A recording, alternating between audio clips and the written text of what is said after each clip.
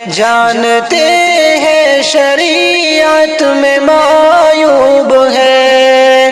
वो ताल्लुक हमें आज महबूब है। इस मोबाइल की लत में कई पारसा। आलिमो आलिमा, क्या से क्या हो गए? फितने इश्क में मुब